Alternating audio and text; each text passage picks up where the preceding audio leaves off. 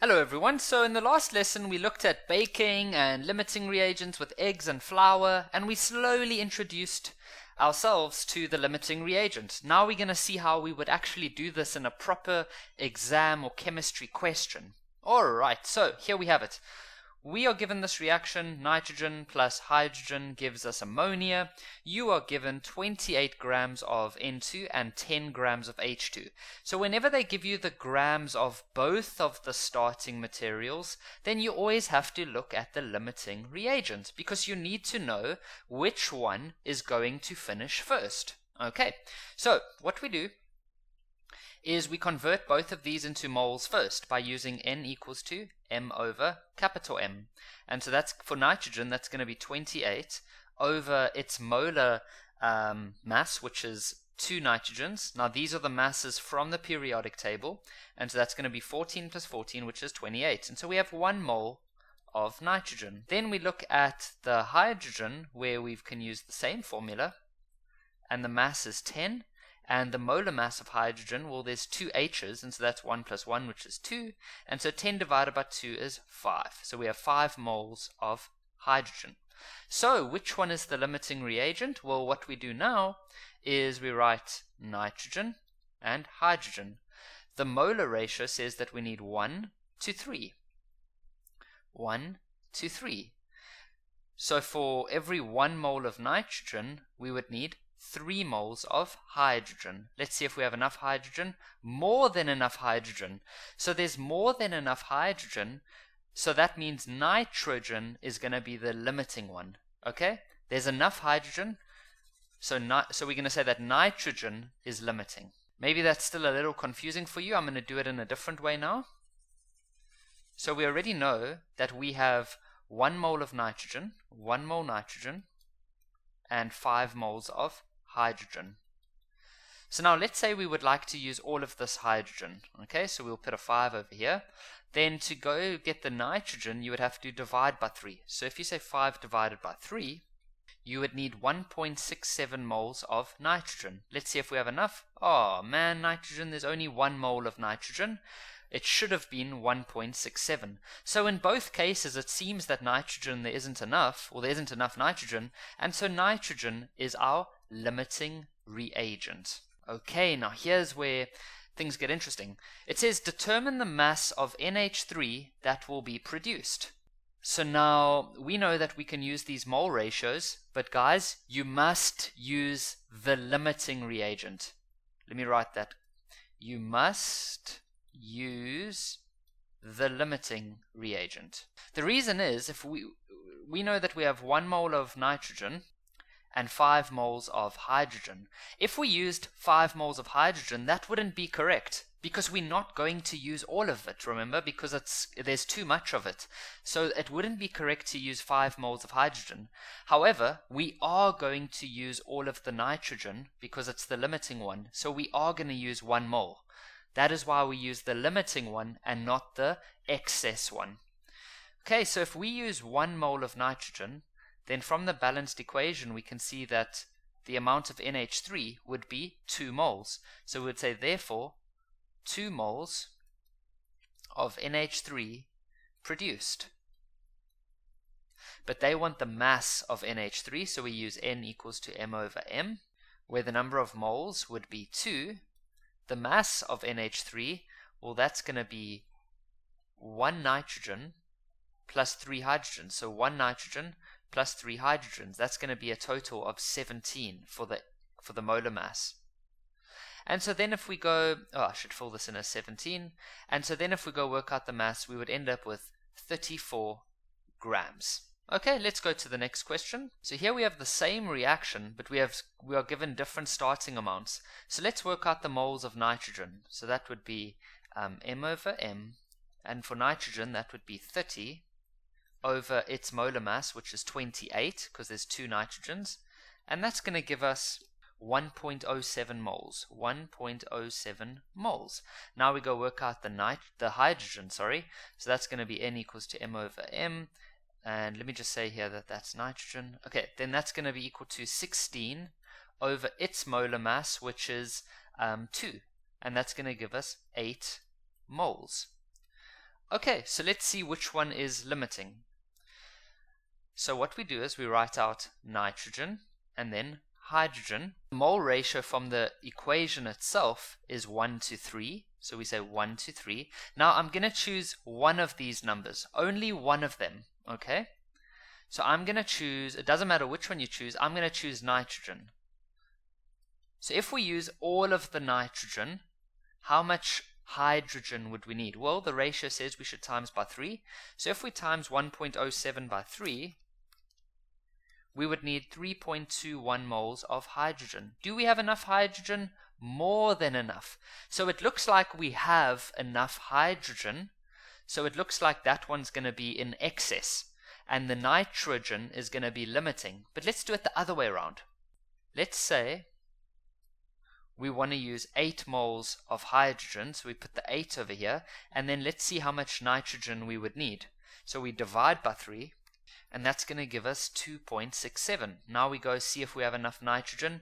No, we don't. So either way we do it, we can see that the nitrogen doesn't seem to be enough. So the nitrogen is going to be limiting, and the hydrogen is going to be in excess. So for the rest of the question, use the limiting one. So you're going to use the nitrogen, okay?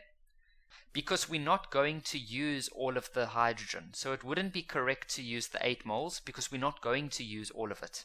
Some of it's going to be left over. So instead we're going to use the limiting one because we're going to use all of that. I hope that that makes sense. So the question says, for number B, determine the mass of NH3 that will be produced. Well, the ratio of nitrogen to NH3 is a 1 to 2 ratio, but how much nitrogen do we have? 1.07. And so we multiply by 2, and that's going to give us 2.14. That's how many moles of NH3 we will, we will produce. So therefore, we have 2.14 moles of NH3 and then we can work out the mass by saying N equals to M over capital M where your moles is 2.14 and then your molar mass is NH3 would be 1 nitrogen which is 14 plus 3 hydrogens so that's going to be a total of 17. If you then get mass by itself you'll end up with 36.38 grams of NH3. Next question. Okay, first step is they want us to, to determine the limiting one, so we convert each of them into moles. So for CH4, the moles of CH4, it's going to be mass over its molar mass, which is going to be 32 over its molar mass, which is carbon 16 plus 4 hydrogens. I mean carbon is 12, sorry, plus 4 hydrogens, and so that's going to be 16, and that's going to give us 2 moles. Then we look at the moles of oxygen, and that's going to be 40 over 2 oxygens would be 32. And so if you say 40 divided by 32, we get 1.25 moles. Okay, now what we do is we write out CH4 and oxygen. If we look at the equation, the ratio should be 1 to 2. So I'm going to say 1 to 2. Then you choose one of these one of them. Okay, I'm going to choose the 2 moles of CH4. So 2 moles of CH4. Then if I just follow this ratio, how would I get the amount of oxygen? Well, I'd times it by 2, and so I would need 4 moles of oxygen. Then I go look at the oxygen. Oh no, oxygen, there's only 1.25. So there's not enough oxygen. So therefore, oxygen is limiting. I'll show you the other way around. Remember in a test, you only have to do one of the ways. I'm just going to show you both. So let's say we, we rather use all of the NO2. So we'd put a 1.25 over here. And then to go this way, you divide by 2, and that would give us 0.625 CH4. Look at this we've got enough CH4. So it looks like CH4, there's more than enough. So once again, oxygen is limiting. So no matter which way you do it, oxygen's always going to be limiting, okay? Now for the rest of the question, you only use the limiting one. You don't use the excess one. That's very important. You use the limiting one, the one that you're going to use up completely. It now says determine the mass of CO2 that will be produced. Well, if I look at the balanced equation, I can see that the ratio between uh, oxygen and CO2 is a 2 to 1 ratio. So I'm going to say oxygen and CO2 is a 2 to 1 ratio. How much oxygen do we have? Well, we have 1.25.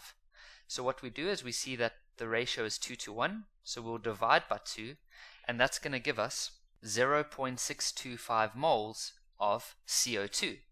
We can then work out the mass by using this formula, and so that's going to give us 0.625 equals the mass over the molar mass of CO2, which is one carbon and two oxygens, and that's going to give you 44 if you had to go add all that up. And so if you work out the mass, you're going to end up with 27.5 grams of CO2.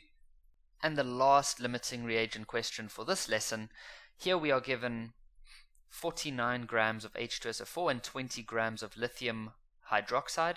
So we first need to get the moles of each one. I hope this is becoming repetitive. That is my goal, to make this very repetitive so you guys remember how to do this. And so that's going to be 49 grams over the molar mass of H2SO4. So it's two hydrogens, so that's going to be 2, plus 1 sulfur, which is 32, plus 4 oxygens, which is going to be 16 times 4, which is 68. And if you go work out the moles here, you're going to end up with Sorry, that's meant to be 64 for the oxygen. 64, my bad. So that's going to be a half, or 0.5 moles of H2SO4. We then look at the moles of the other one, which is lithium hydroxide.